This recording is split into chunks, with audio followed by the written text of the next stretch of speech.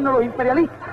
Es que estemos aquí y que hayamos hecho una revolución socialista en las propias narices de los Estados Unidos y que esa revolución socialista la defendemos con esos fusiles. Durante 60 horas de duro combate, los combatientes hicieron poner pie en polvorosa a los contrarrevolucionarios invasores en las arenas de Playa Girón. Pretendían los mercenarios reclutados, entrenados y pagados por la Agencia Central de Inteligencia derrocar a la revolución naciente. Previo a la invasión habían desplegado desde los Estados Unidos una guerra psicológica para desestabilizar a los habitantes de la mayor de las Antillas, sabotajes, propagandas y amenazas de todo tipo para hacerlos dudar acerca del futuro de la patria. Al atardecer del 19 de abril, iluminó con más fuerza el sol, aunque más de 150 combatientes cubanos y varios civiles inocentes murieron bajo el bombardeo enemigo. Aproximadamente 1.200 prisioneros fueron cambiados por medicinas y alimentos al gobierno norteamericano y pasado un año fueron enjuiciados. Y el pueblo de Cuba no ceja en la defensa y la preservación de su soberanía.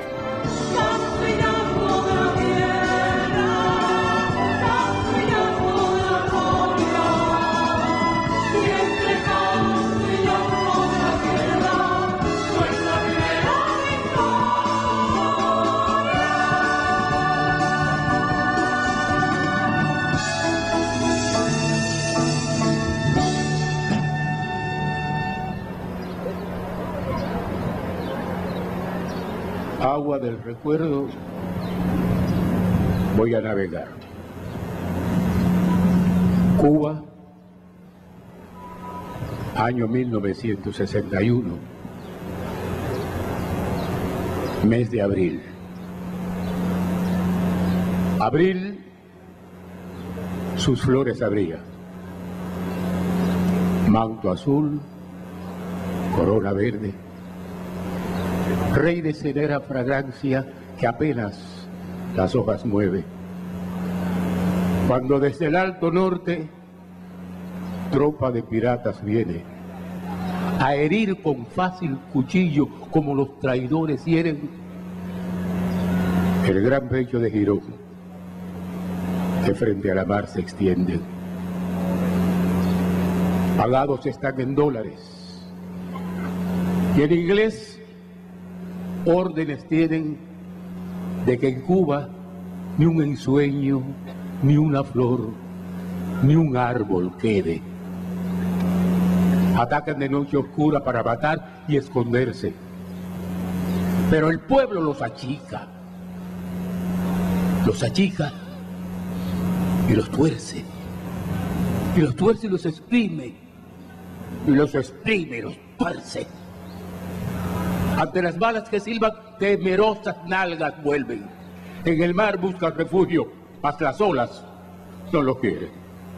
Sus barcos desmantelados son ruinas que el agua ofende. El pueblo les enseñaba que solo vive quien muere con el pecho entre las nubes y la sangre a la intemperie. La sangre a la intemperie. Cuando con sangre escribe Fidel, ese soldado que por la patria muere, no digáis miserere. Esa sangre es el símbolo de la patria que vive. Cuando su voz empera lengua para expresarse parece que no haya, no digáis que se calla. Pues por la pura sangre de la patria trabaja cuando su cuerpo baja exánime a la tierra que lo cubre ambiciosa, no digáis que reposa, pues por la patria en pie resplandece y trabaja. Ya nadie habrá que pueda detener su corazón unido y repartido. No digáis que se ha ido. Su sangre numerosa junto a la patria queda, junto a la patria queda. Ya Cuba no lanza un muera ni abuse de su victoria. Le sobra y basta su gloria ver ondeando su bandera. y que la América entera salude a esta nueva hermana, a la heroica, a la espartana, y grite con voz potente, ¡Viva libre e independiente la República Cubana! ¡Viva!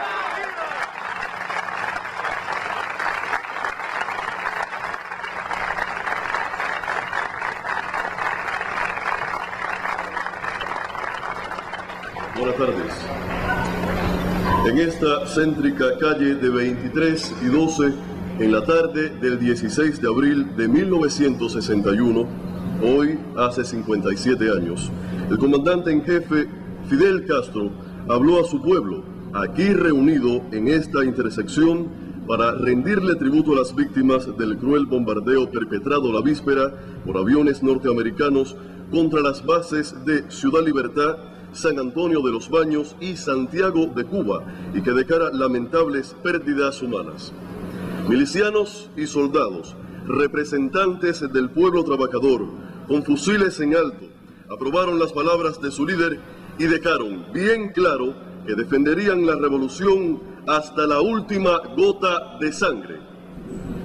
Una página trascendental en la historia se gestaba aquel día al escoger como único camino el socialismo, proclamándose así el carácter socialista de la revolución cubana.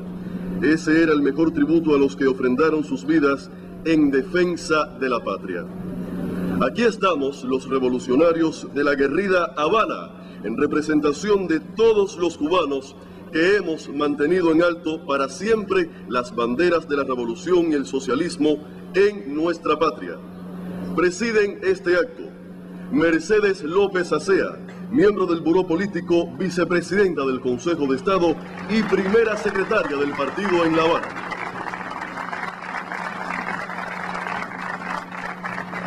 Reinaldo García Zapata, miembro del Comité Central y presidente de la Asamblea Provincial del Poder Popular en La Habana. También con nosotros Rodrigo Malmierca, ministro del Ministerio de Comercio Exterior y la Inversión Extranjera.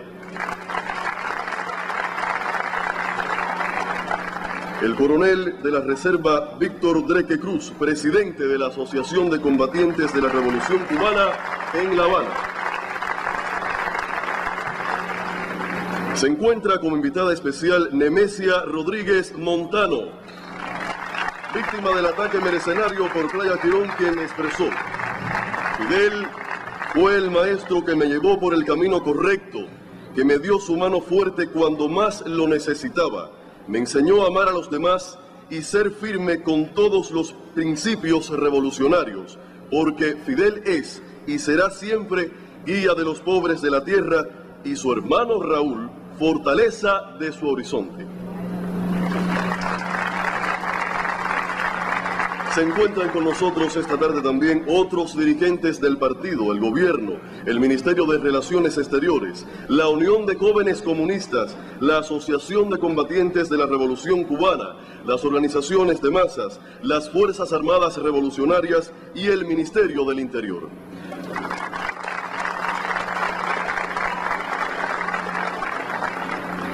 También se encuentran presentes un grupo de combatientes y milicianos que participaron en aquella gesta.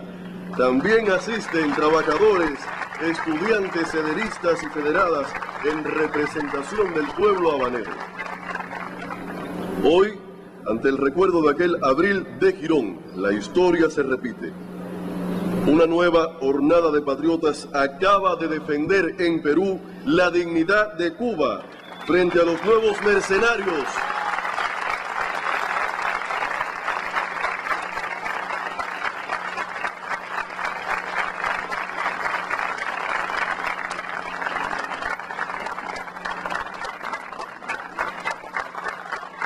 La cumbre de Perú fue el girón de estos tiempos.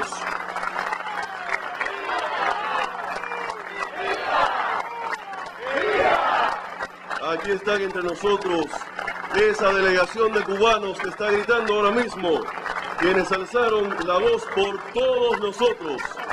Y llegue a ellos nuestro mayor reconocimiento y toda la gratitud por el deber cumplido.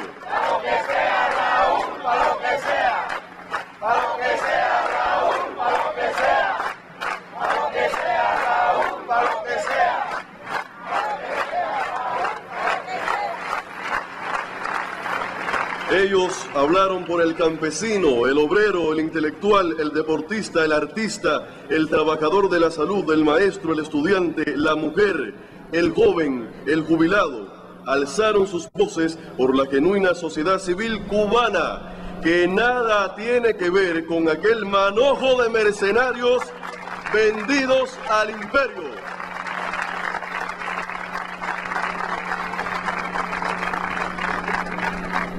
Al inicio de esta actividad escuchamos al actor Alden Knight que nos declamó fragmentos de los temas La sangre numerosa y Abril sus flores abrían. Seguimos con este acto.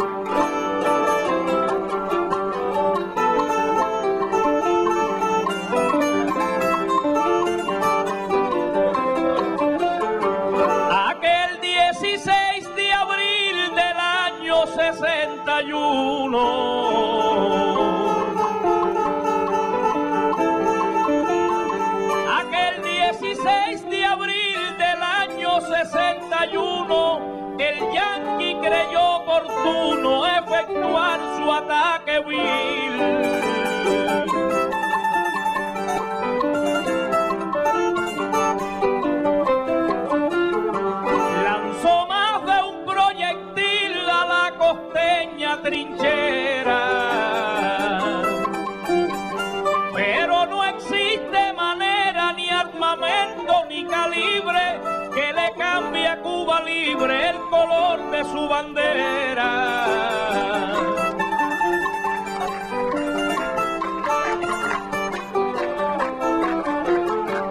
Después de Playa Girón se hizo victoria y conquista.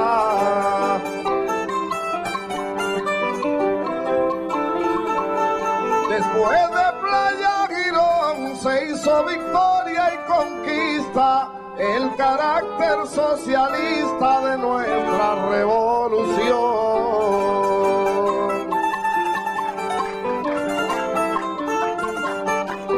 Las pruebas de la invasión fueron de muy bajas notas. Y hoy se intentan sucias botas el suelo patrio pisar. Volvemos a cambiar mercenario por compota.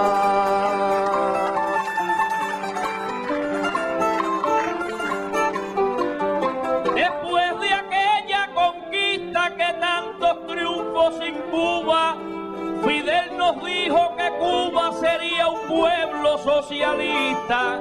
Por eso el imperialista sabe que si otra ocasión intenta entrar por Girón o por cualquier otra posta, Fidel estará de posta para frenar la invasión.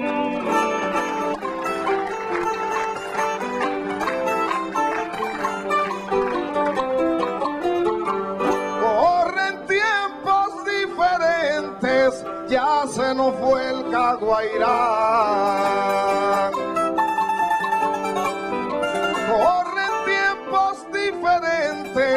Ya se nos fue el Caguairán. Y muchos zorros están afilándose los dientes.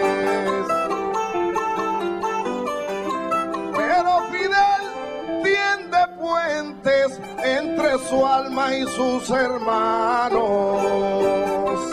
Así que calma gusanos, tranquilo y en su lugar, que aquí solo va a pasar lo que quieran los cubanos.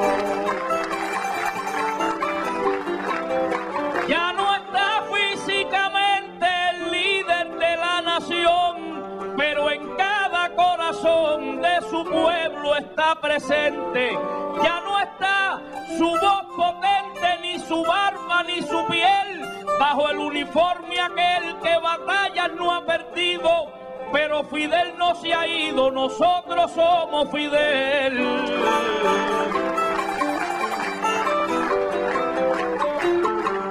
Perú organizó una cumbre y Almagro tuvo la idea.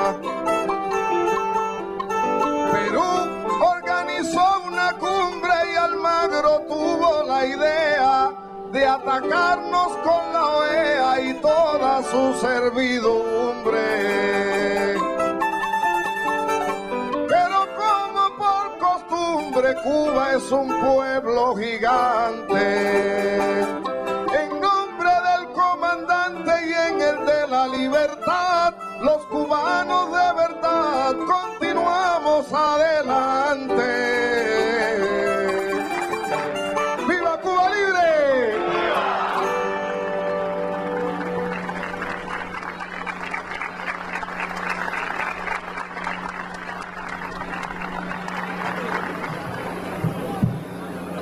Escuchamos las emotivas décimas del repentista Emiliano Sardiñas, conocido como el poeta de la mochila, acompañado del poeta Albertico Rojas y el conjunto Palmas y Cañas.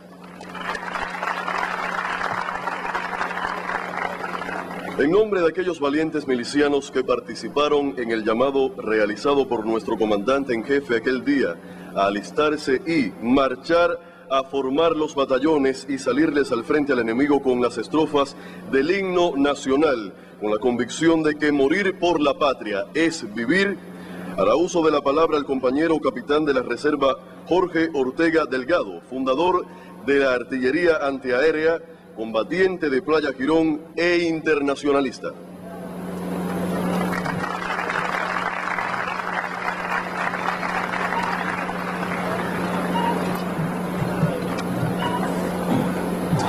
Compañeros de la presidencia, invitados y milicianos que nos acompañan en este acto.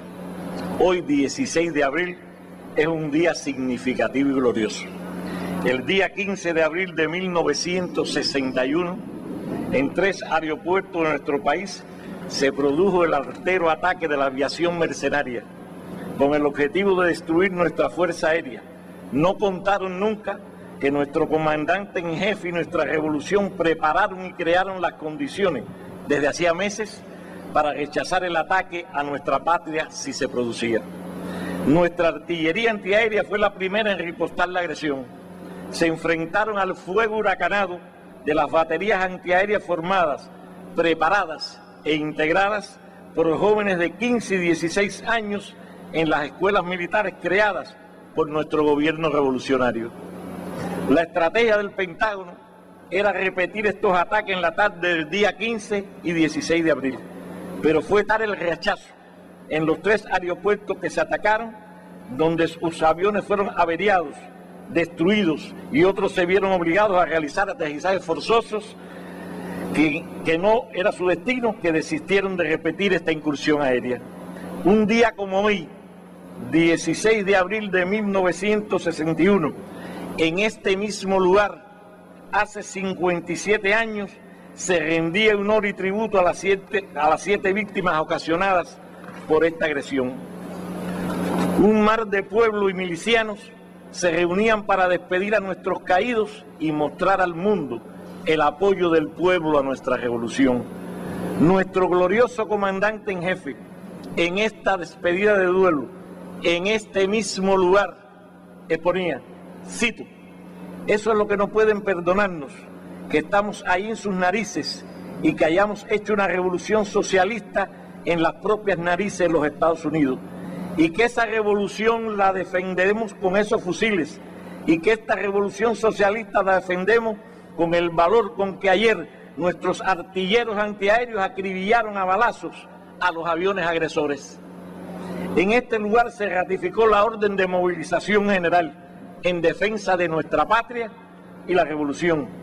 Aquí mismo, nuestro pueblo y milicianos juramos defender nuestra revolución socialista, como estoy seguro que lo harán todos ustedes hoy, y cito las palabras de nuestro comandante en jefe.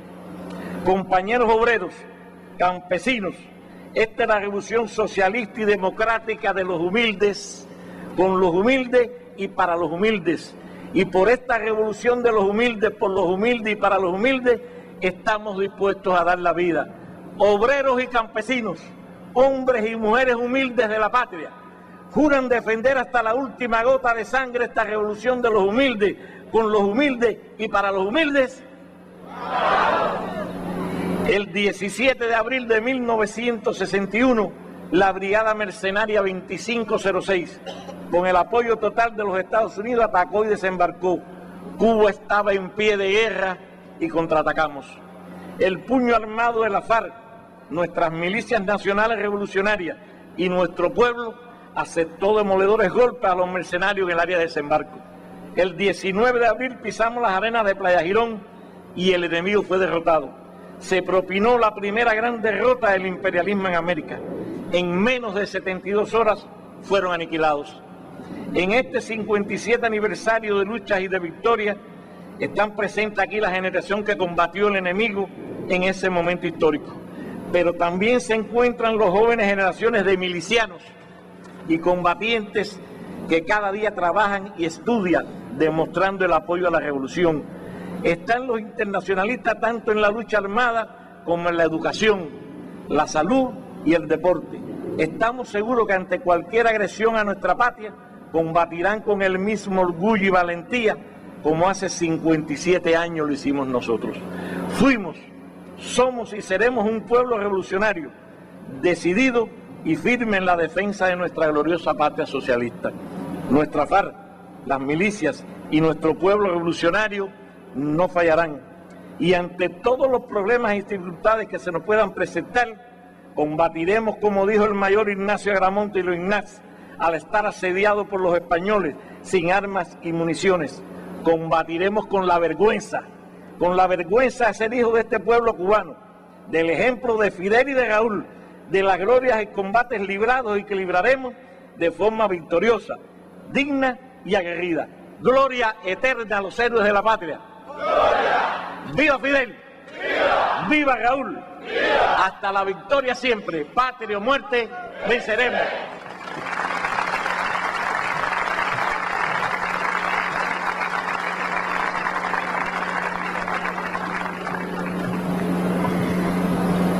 En nombre de los representantes de la delegación que defendió nuestra dignidad en la Cumbre de las Américas, celebrada en Perú, hará uso de la palabra Mirtia Julia Brosar, presidenta de la OCLAE.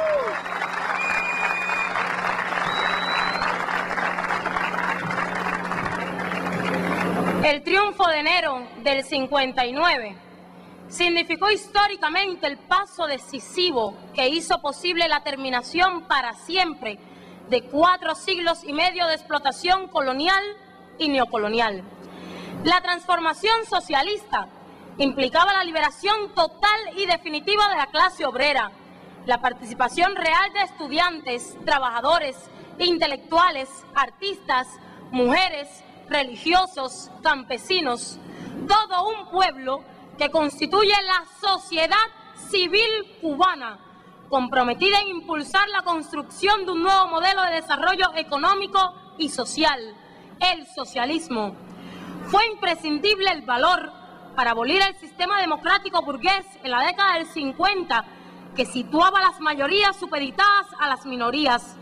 Fue necesaria la firmeza para enfrentar los actos terroristas promovidos por la CIA, no nos dejamos intimidar por sabotajes, conspiraciones. La sangre derramada indicaba el camino para continuar venciendo. Fue imprescindible la guía de Fidel, Raúl, la generación histórica de nuestra revolución, los principios éticos y morales para desarrollar nuestro proyecto social integrador y el coraje, sobre todo el coraje, para impulsar una revolución socialista a 90 millas del imperialismo yanqui, que con la doctrina Monroe y el destino manifiesto creen tener el mandato sobre nuestras tierras latinoamericanas. Y hoy, como hace 57 años, donde el imperialismo tuvo que venir aquí, a Cuba, para tener su primera gran derrota en Latinoamérica. En menos de 72 horas, le traemos al pueblo de Cuba la victoria en la octava cumbre de las Américas, donde ratificamos que Cuba jamás renunciará a su soberanía, a su libertad ni a sus principios. No creemos en anexionistas. No creemos en los que le ponen precio a la vida de su propio pueblo, mucho menos en cualquier intento de destruir la revolución cubana. Quien quiere dignidad nunca tendrá que ponerse de rodillas. La continuidad de la revolución socialista, los jóvenes y el pueblo cubano reafirmamos que está segura. ¡Viva por siempre Fidel! ¡Viva! ¡Viva por siempre Raúl! ¡Viva! ¡Viva nuestro inmortal Partido Comunista de Cuba! ¡Viva! Y hoy ratificamos socialismo o muerte, patria o muerte, venceremos. ¡Viva,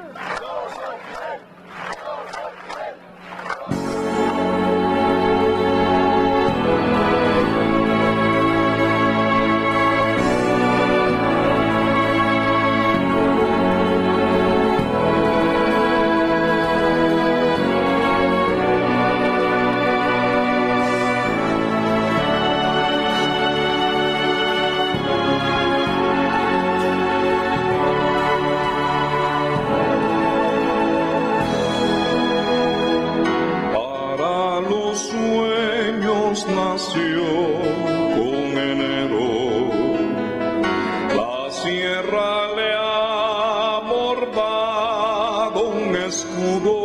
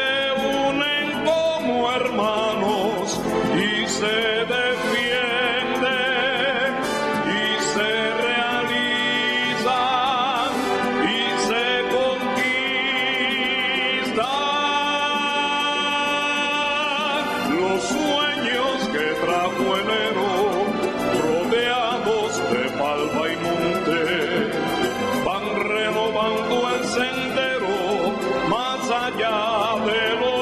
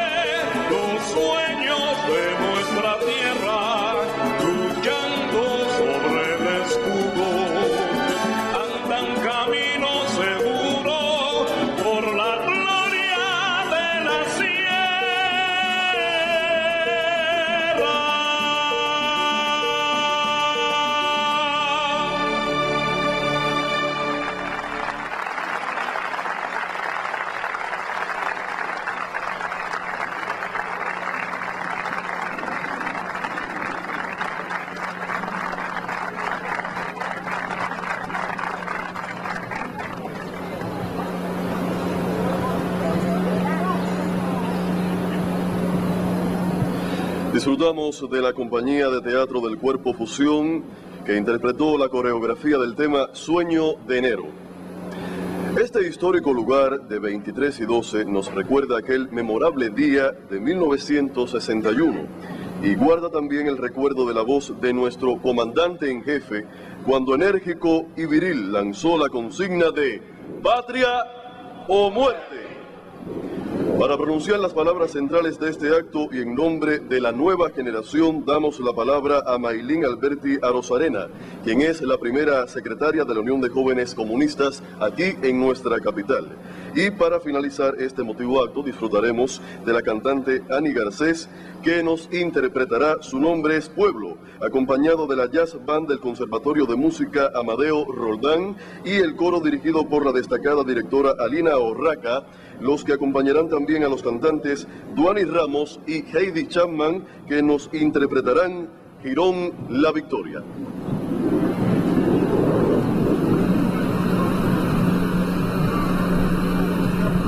Compañeros de la presidencia, pueblo capitalino, abril es un mes de historia y de victorias. Importantes hechos han marcado el curso de una nación con el pueblo, para el pueblo y por el pueblo. Principios sagrados en 60 años de revolución bajo la conducción certera y unida del Partido Comunista de Cuba. No es casual entonces que la proclamación del carácter socialista de la revolución coincide en semejante fecha con la fundación de la organización política rectora de la sociedad cubana. Una visión revolucionaria que tendría en Fidel su mayor artífice para garantizar el destino libre y soberano de nuestra nación. La juventud ha escrito páginas gloriosas de heroísmo cotidiano. Rememorar los hechos del preludio de la invasión demuestran la conducta asumida por los jóvenes. Por ello, Ejemplos como los de Eduardo García Delgado, miliciano que escribió con su sangre al morir el nombre de Fidel, nos estremece. Cuánto simbolismo encierra estas cinco letras que resumen la lealtad no solo al líder, al guía de tantas batallas, sino también a una patria que no volvería a ser colonia de nadie y cada generación lo asumiría con la madurez y el sacrificio de su tiempo. Así lo demostramos en la octava cumbre de las Américas en Lima, Perú, donde la delegación cubana hizo valer su decoro y respeto a los principios de soberanía e independencia de los pueblos. Los argumentos dichos por la legítima y verdadera sociedad civil estremecieron las salas de debate como cañonazos en las arenas de Playa Quirón, porque cuando la patria es insultada por mercenarios, sus hijos la defienden, la enaltecen, la dignifican y otra vez sale victoriosa como 57 años para América y el mundo. Por eso las palabras de Fidel a un año de la victoria de Playa Girón están más vigentes que nunca cuando dijo, ¿dónde estuvo el error de los que tan meticulosamente habían realizado aquellos planes? ¿Dónde se equivocaron? Se equivocaron al medir a nuestro pueblo, se equivocaron al medir la moral de nuestro pueblo, el valor de nuestro pueblo y la fuerza de una revolución. Por eso los agresores, frente a todas las revoluciones verdaderas, han fracasado, porque han sido incapaces de medir la fuerza de las revoluciones y por esa razón seguirán chocando con ella. Con Cuba no se metan, a Cuba se respeta. Ratificamos los pronunciamientos del canciller Bruno Rodríguez Parrilla cuando afirmaba que no cederemos ni un milímetro a nuestros principios y en el perfeccionamiento del modelo económico y social que soberanamente decidimos. Ha costado mucha sangre y la historia no puede ser olvidada. Han sido jornadas de victorias y orgullo de ser y sentirnos cubanos. Continuarán las derrotas del imperialismo en América, porque no renunciaremos a nuestra filosofía de lucha y a esa aspiración suprema que un mundo mejor es posible.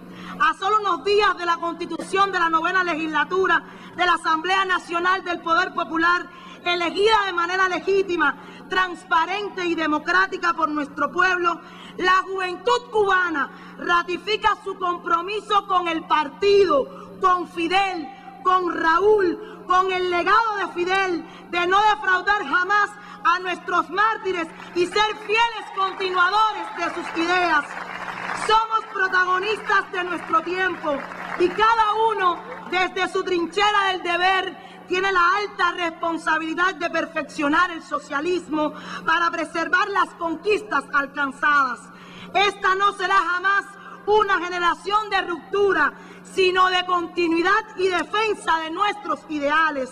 Por eso la revolución cubana es una sola la iniciada por Carlos Manuel de Céspedes el 10 de octubre de 1868 y a 150 años late con la misma fuerza y firmeza, adecuándose a sus métodos, estilos y sentido del momento histórico.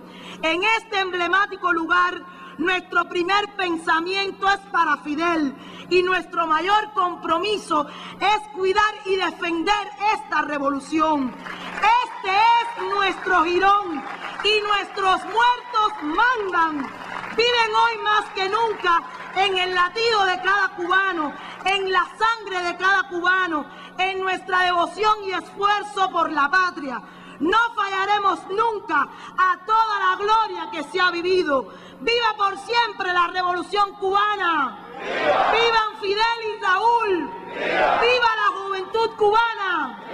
Socialismo o muerte. Patria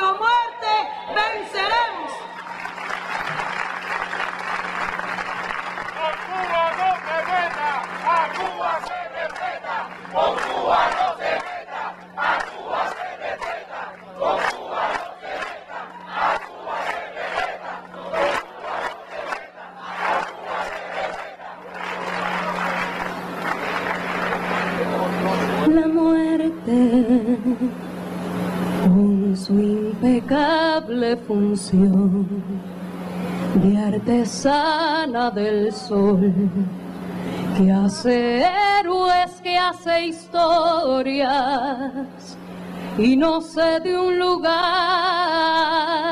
para morir en esta tierra por el futuro.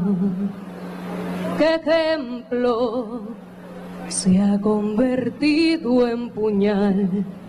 Se ha convertido en fusil, se ha convertido en la trinchera de la voluntad, de la palabra amar, de la conciencia y de la muerte.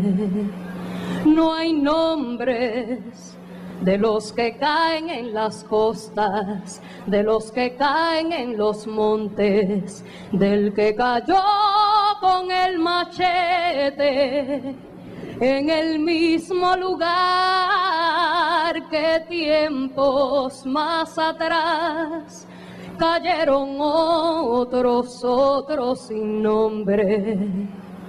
A los héroes se les recuerda sin llanto, se les recuerda en los brazos, se les recuerda en la tierra. Y eso me hace pensar que no han muerto al final y que viven allí donde haya un hombre presto a luchar a continuar no hay nombres de los que caen en las costas, de los que caen en los montes, del que cayó con el machete en el mismo lugar que tiempos más atrás cayeron otros, otros sin nombre. A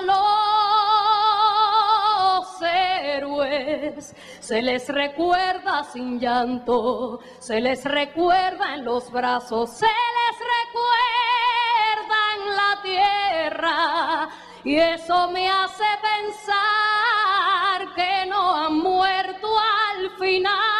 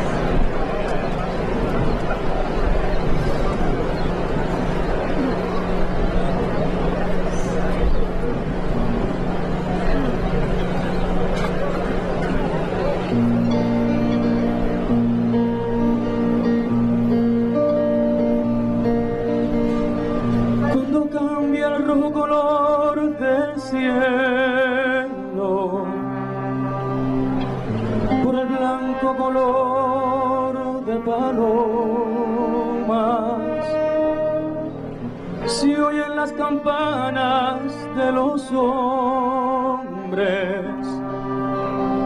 que levantan sus sonrisas de las lomas.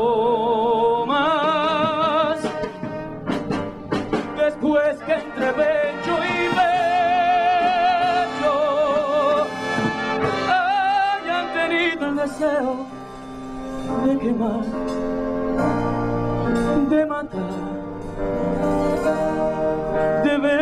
vengar y de.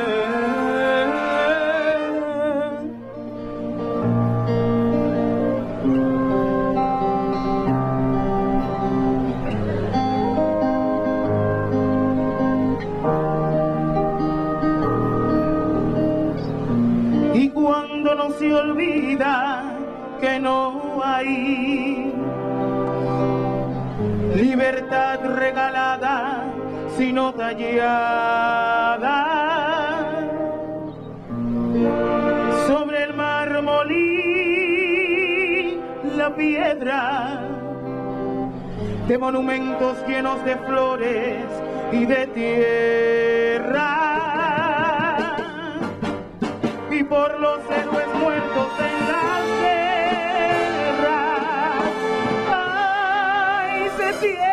luchar y ganar, se tiene que reír y amar, se tiene que vivir y cantar, se tiene que morir y crear.